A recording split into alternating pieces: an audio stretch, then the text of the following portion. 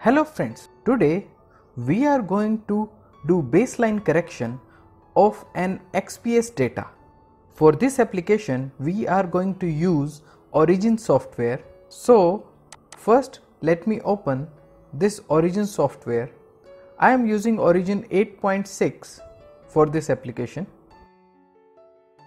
Here in this file I have an XPS data of barium.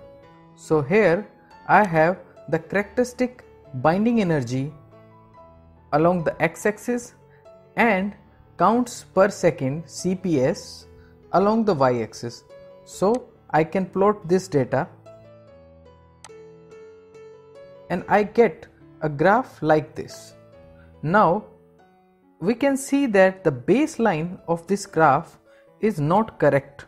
So before fitting this data, we need to correct its baseline. After that, we can fit its peak. For peak fitting, you can check my video on single and multiple peak fitting. Now, in this target, we want to fit its baseline. To do so, first go to this analysis option. In this analysis option, you will find an option named as peak and baseline. Further, in this, you will get this option peak analyzer. Go to this and open dialog box. So, yes, now we are going to fit our baseline. So, for this application, first we will stay on this manual mode. After that, we will choose subtract baseline in these options. After that, we will switch to next. So, it is showing a red line which is a constant, but we don't want it to be constant, we want it to be user defined. So, we select this and after that, you can select this option Savitzky Golay option yes now in this fitting you can choose the number of points required for your fitting I can choose it to be 10 and then press find. So it is randomly finding some points which uh, the program is thinking is the baseline but we can edit this uh, later on. So after that you press next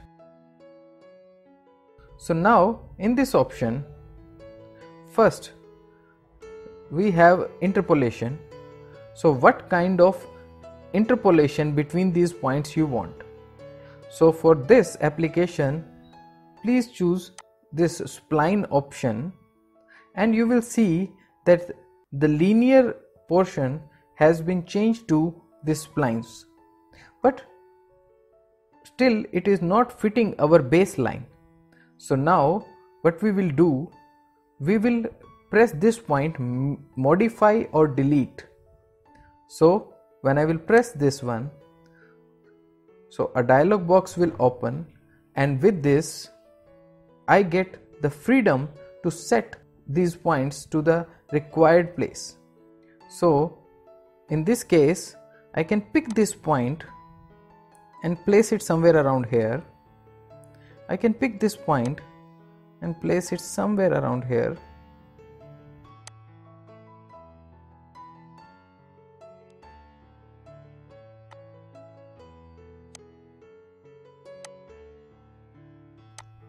So, so in this way I first tried to fit my baseline but now let us correct it again.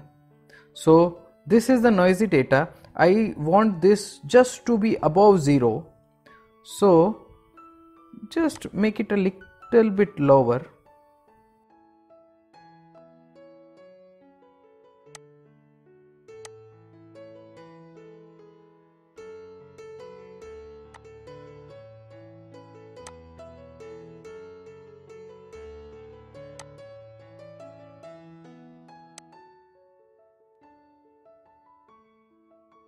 So the main feature in this baseline correction, this line should be a smooth curve.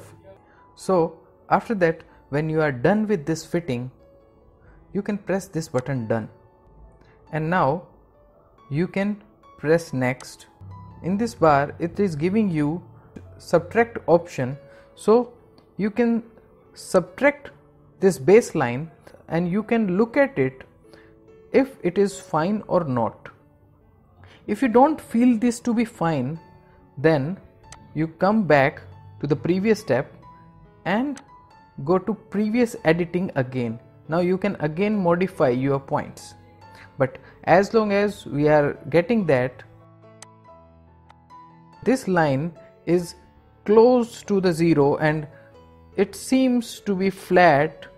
So it seems like our baseline correction is okay so now press finish and this is your data after baseline correction. Now if you look at so if we look at this data we will find that this is not the data we started with. So this is the data after subtracting the baseline data which we obtained after fitting. So if I plot this I am getting this data which I have obtained after baseline fitting so in this way you can fit the baseline of either your Raman data, your XPS data or similarly many others. Thanks for watching. If you like this video, please don't forget to like, share and subscribe. Thank you.